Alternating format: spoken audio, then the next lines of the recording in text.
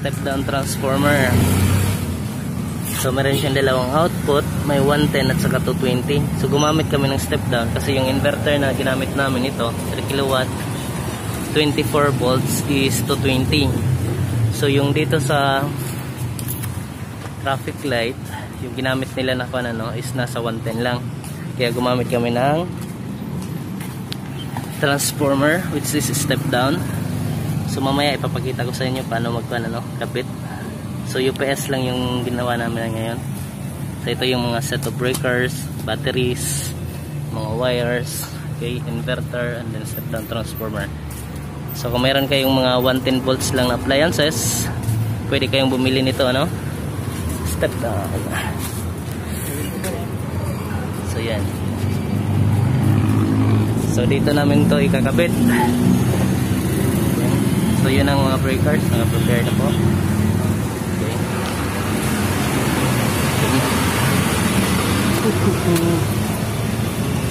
So ito rin yung control uh, board ng kwan, traffic light.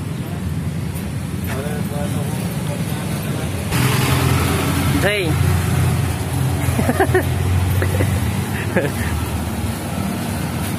so ito yung contractor namin. Okay. ito naman yung partner ko. so positive to positive muna. Okay. Tag dalawang battery naka-parallel bago namin isa-series para magiging 24 volts. Gagamitin namin yung connection is parallel series.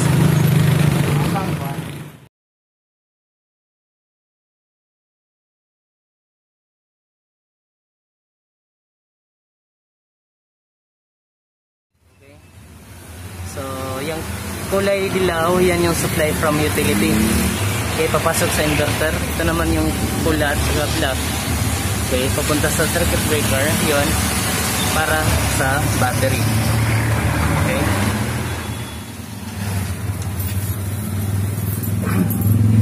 So, 3 kV in a step down transformer. From 220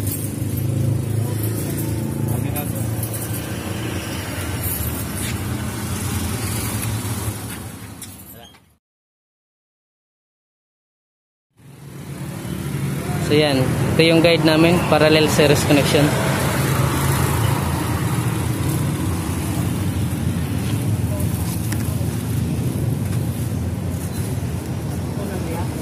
Ah. So 24 volts. Okay, sa mga nagtatanong ba, sabihin niyo shorted yung layout ko. So titesteran natin ngayon ano, yung number 4 negative. Okay? Kasama na din yung uh, saan yun yung uh, number 3 negative. So yan yung negative supply. At saka yung number 1 naman connected sa 2 na positive yan yung positive supply. So i-trace up natin. So i-check daw Jay gamit yung tester. Okay pindot.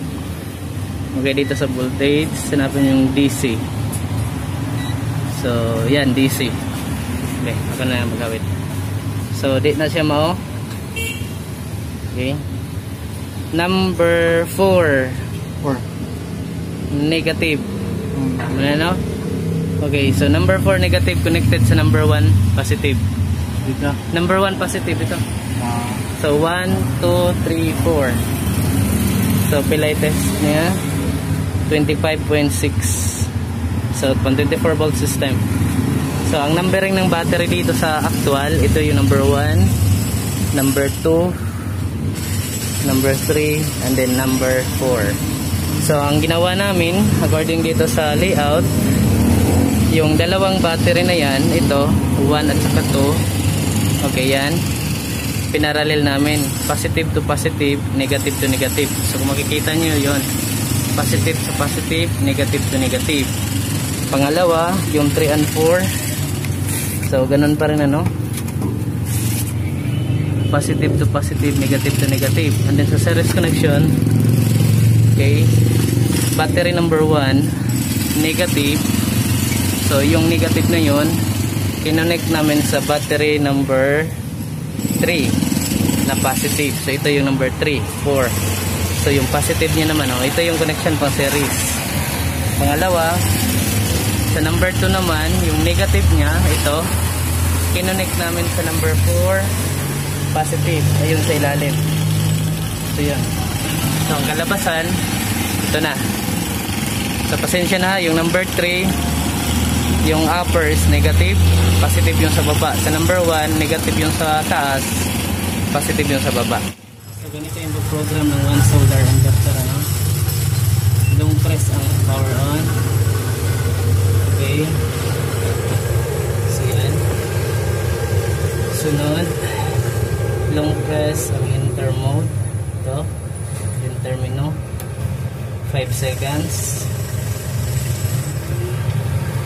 So yan, mapapasok ka na no? language settings kung ano yung language na gusto mo. Next, system mode. Since UPS tayo, press lang yung enter. Okay, so meron tayong pagpipilian ano?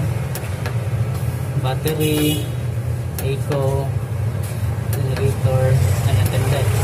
So para sa UPS, line mode priority.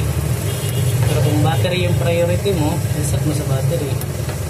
So next, battery type settings. So meron tayong gel, may HCM, may lithium, and then or customize.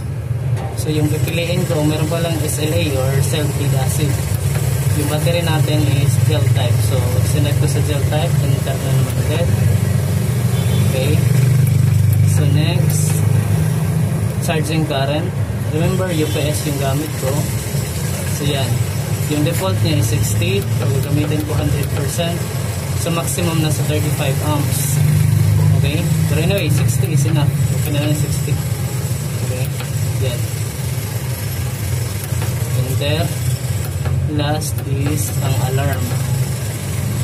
Okay? Pwede mong i-on, pwede rin i-off. So, so, sa part ko, i-off ko lang kasi may ingay no? Pag may problema lang talaga, sa lang siya tutunog na, na continuous. So, yan. Off na naman. Enter. So, pagkat ano, so, pagkatapos na maset mo na, back lang sa default screen. Okay? So, yan. Activated na siya. Okay? So, ganun lang kadali. So, one solar. Ginawa na yung UPS. Oh. So, 3 kVA, 24 volts. Switch on mo yung breaker na malaki. Battery to inverter. Wait na ha.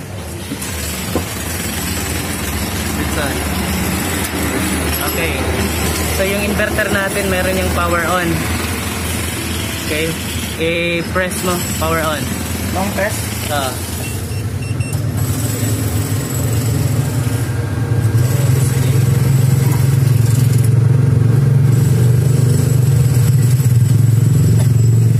So yan, sa ngayon battery yung nag-supply ano? Yung sa load side. So meron na yung output. Okay. So i-try natin yung kuha natin. Ito. So ito, i-on. Transformer oh. Okay. So meron pa siyang delay.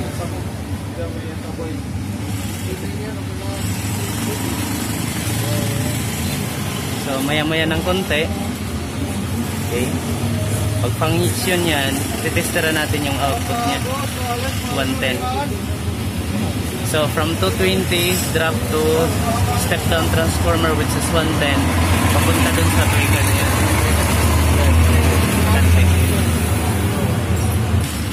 So yan, functional na, wala na yung delay ano.